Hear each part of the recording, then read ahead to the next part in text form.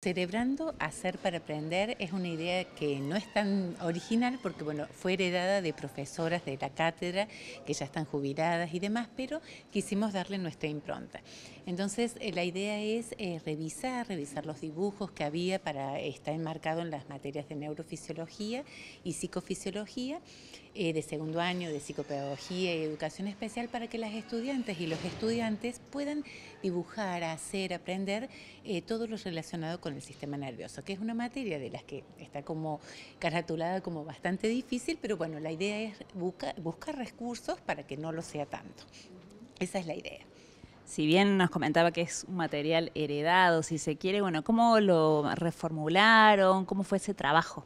Bueno, la idea fue este, justamente pensar quizás en gráficos muy tradicionales, pero eh, necesitábamos, desde la Unirrío se nos sugirió, eh, dibujos originales para resguardar los derechos de autor y demás.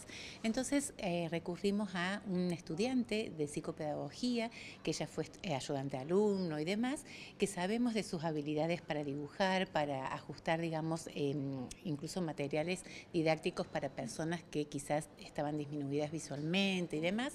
Entonces le hicimos la propuesta y eso quizás sea lo más hermoso que tiene este cuadernillo, hecho también por un estudiante de la universidad. ¿Ya está disponible? ¿Cómo se puede acceder al material? Sí, eh, está disponible de manera gratuita este, en la página de Unirrío, eh, editora. Se puede descargar gratuitamente, así que los alumnos pueden hacerlo así. Y otra opción que se nos ocurrió también en el marco de eh, recurrir a recursos que también tenemos en la cátedra es la impresión, si el alumno quiere, si así lo desea y, y necesita, de cognitivamente un emprendimiento que suele hacer estas propuestas.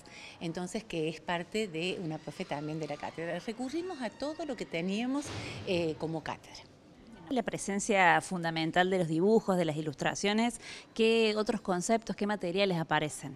Bueno, aparecen ideas claves de la materia como son los planos, como son quizás em, eh, los dibujos y, algunas cuestiones que tienen que ver con la neurofisiología eh, pura, ¿no? como por ejemplo figuras de homúnculos en, la corteza cerebral, figuras de los diferentes tipos de neuronas y su relación con eh, algunas teorías que ellos necesitan saber y después volver a los libros originales que siempre eh, están para estudiar, Snell, Purves, eh, Pinel, bueno, ellos eh, se van como apropiando y que sea también la cuestión artística y gráfica una posibilidad más para lograrlo.